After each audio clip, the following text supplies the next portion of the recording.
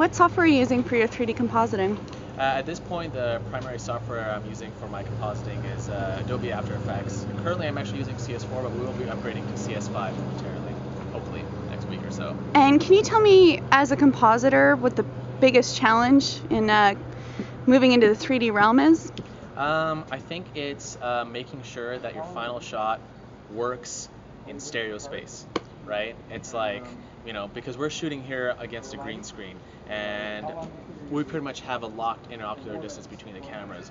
And so now I have to make sure that when I put this stereo information into my uh, virtual world or, or you know, uh, or, or other place that were shot in stereo, that this, uh, that this, these elements that were shot in stereo, and then the other elements that I'm putting in that are shot in stereo, that they all match up at the end, and the final shot, you know, aligns, and there's no, there's no, uh, uh, um, you know, dis- like dispersity, like problems or anything like that. Just everything looks crisp. That, that's probably the biggest challenge, making sure that all works in the end. And- Because when you're shooting stereo, uh, or when you're compositing stereo, it's like you can't use any little tricks in the background. You can't really use any weird forced perspective stuff. It's like you're always seeing depth, so there's a lot less room for kind of cheating things in the back and such. So, yeah.